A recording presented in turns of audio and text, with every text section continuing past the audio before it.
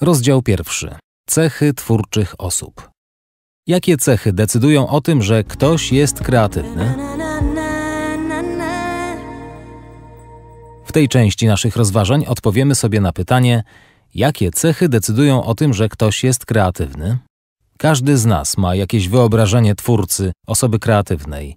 Ja przez chwilę chciałbym odwołać się do obiegowej wizji na ten temat, tak więc najczęściej kreatywność kojarzy się z twórczą potencją, przebojowością, przebłyskiem, pójściem na całość, geniuszem, ekscentrycznością.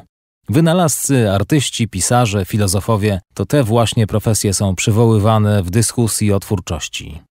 Wielcy geniusze, ci obdarzeni szczególnym talentem, darem niebios, wrażliwi i inteligentni, widzący i rozumiejący więcej niż inni.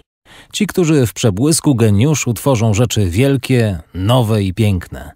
Czyż to nie wspaniały opis? Ale w tym obrazie kryje się pewne zakłamanie. Całość z wielką gorliwością jest skopiowana z modelu Hollywoodu i aż nadto nieprawdziwa. Jak trafnie zauważył profesor Jukes, Wynalazcy, którzy osiągnęli sukces, tworzą romantyczną aurę. Znacznie chętniej godzą się, by ich osiągnięcie postrzegać jako wynik nieskazitelnego łańcucha wspaniałych decyzji i umyślnego planowania, niż jako rezultat desperackiego błądzenia i częstego zawracania z drogi. Następnie pisarze, mając więcej informacji o przebłyskach geniuszu niż o licznych porażkach i poszukując raczej uporządkowanej historii niż historii pogmatwanej, powodują, że legendy się rozrastają.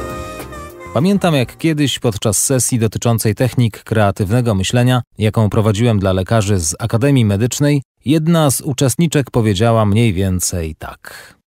Miałam okazję współpracować z dwoma noblistami z dziedziny medycyny